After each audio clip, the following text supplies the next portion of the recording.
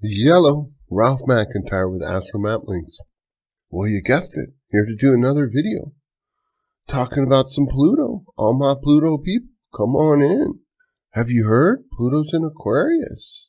In this video series, I talk about Pluto and Aquarius aspecting each planet in the zodiac. We talk about the evolutionary intent of transiting Pluto aspecting the planets in your birth chart we're going to get a little emotional because we're talking about the moon. I apologize, getting over a little bit of cold, so I hope I don't do too much Donald Duck talking. Hope you can kind of hear the wisdom through the quacking. All right, for all you new people, please click like and subscribe. It so helps me promote my channel. In the description below, you're going to see a link to get a reading. I have this special Pluto and Aquarius reading. It's a 45 minute reading it's kind of set up to be super affordable and set up to help you get through this transit because Pluto's your friend. It's here to help you. All right. Without any further ado, let's talk us about some Pluto in Aquarius aspecting your moon. So you find yourself as a soul incarnated into a body with the planet Pluto in Aquarius aspecting your moon how emotionally special are you? All right, my Pluto people, we're going to dive in because Pluto and the moon are best friends. You know, Pluto kind of wants to be real. The emotions kind of want to be real. You know, Pluto kind of wants to see through, through things. The emotions sometimes can see through things and sometimes can keep you stuck looping around. So my friend Pluto in Aquarius, your friend Pluto in Aquarius, our friend Pluto in Aquarius, aspect in your moon. So we're talking the conjunction moon in Aquarius, the opposition moon in Leo, and the two squares of moon in Scorpio and moon in Taurus. So fundamentally the moon is how you interact how you feel and how you interact with emotions. So, generally speaking, you got to remember as a soul, you incarnate into this birth chart to teach you the lessons. So, if you have a moon in Aquarius, you're here to learn about emotional res- responses from an Aquarian perspective. Same with Leo, same with Scorpio, same with Taurus. So, remembering that, it's important that you're here to learn this. And anytime you're here to learn something means you're kind of getting better at it as we speak. So when you first start out in life, you're not as good as the end of life, hopefully. And so understanding this, you know, there's a couple things you want to look at. Look to whatever you have in Cancer, look to whatever you have in the fourth house, look to your natal Pluto, and look to any other things you might have aspecting your moon besides the transiting Pluto, like if you have any other aspects in the natal chart. All this will help you understand what this Pluto transit's here to help you with. Help to unlock those emotions. So, Pluto in Aquarius, Moon in Aquarius. Moon in Aquarius is kind of an interesting position, as in Aquarius is kind of detachment and Moon is fundamentally attached. And so, from an evolutionary perspective, you're learning how to kind of step back from the emotions, not be so emotionally triggered. And there's a fundamental reason because whenever you're looking at Aquarius, you're looking at the trauma from karmic wounds, very likely. And so, to get over some of these wounds, you have to kind of step back and not be so emotional. So on some levels, that Aquarian moon wants to not be emotional. But the moon in general wants to be emotional. And this is where I'm going to sound like I'm doing a little Gemini double talk out of both sides of my mouth. I don't mean to be, because this is a kind of a complex placement, so it requires some nuance. And so knowing where you need to be emotionally attached and where you need to be emotionally removed is a big part of understanding this transit. Because the easy way to do this moon is just kind of like not be attached to anyone. But that doesn't necessarily always work. depending on whether or not you have a bunch of stuff in the seventh A's or any other relationship oriented, you know, if you have um, Pluto and Venus, or I mean, Pluto and Libra, or any other thing in Libra or um, Scorpio, those relationship signs means your soul here to learn relationship lessons. And so that Pluto in Aquarius is going to light up that moon, kind of like, you know, want you to let go of some of these old stories. Because so often with Aquarius, we're talking about the mental stories that no longer serve you. That's what this Pluto in Aquarius is trying to liberate you from. And, you know, if you're finding yourself super detached from everyone, that Pluto in Aquarius is going to want to kind of light up the stories that are telling you that no one gets you. Because it's not that no one gets you, it's just that most people don't get you. But don't throw the baby out with the bathwater. Just because most people don't get you doesn't mean there's not people that can get you, not people that you can open up and trust, not get so caught up with the people who don't.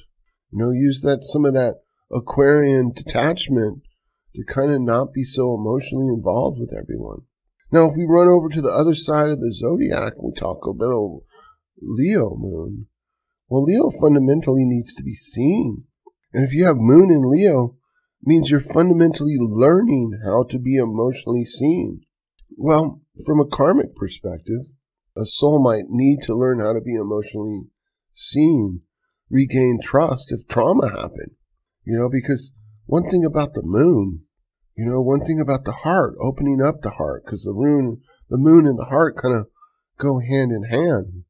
You know, is the vulnerability there? You know, it's like for someone to really hurt you, you have to open your heart up to them. You know, if it's a stranger, they can't hurt you nearly as well as someone you opened your heart up to. So with that moon in Leo, it's requiring you, wanting you to kind of find that emotional wisdom through sharing it with other people, being seen, requires the right audience, requires the trust, you know? And also with, with all of moon aspects, all of moon stuff in your birth chart, especially for us Pluto people, there's so much emotional wisdom that comes through the moon. It is where all the true divine wisdom comes through your feelings. And so with Moon and Leo, you need other people to kind of help you see that, help you find the profoundness in your emotions. And then going over to the Pluto and Scorpio, hitting one of the squares. Scorpio fundamentally wants the truth. Scorpio's a water sign. The moon's a water planet. So we got a, you know, Pluto in Aquarius, air, with that water planet, that water sign, doing a little dance there. So fundamentally, where are you being too intense? Where are you not being too intense? Where are you listening to those stories of the childhood wounding that are keeping you closed down? Where are you sharing that intensity with the wrong people? Because a lot of times with Scorpio, especially as a child, sharing that intensity with the wrong people will tend to shut you down, get you all closed down. And then it's about learning who to share with and who not to share with, and getting over the addiction because Scorpio can kind of be a little taskmaster in wanting honesty and truth, emotional honesty and truth, you know? Now, but fundamentally, you got to remember the moon is there to take care of you, nurture you. And wanting emotional honesty and truth and wanting to take care of yourself isn't always go hand in hand. Where do you run from emotional honesty and where do you run towards emotional honesty? And how well does it take care of you? Because remember that Pluto and Aquarius is ruled by that Uranus and Taurus, and this is the case for all of these moons.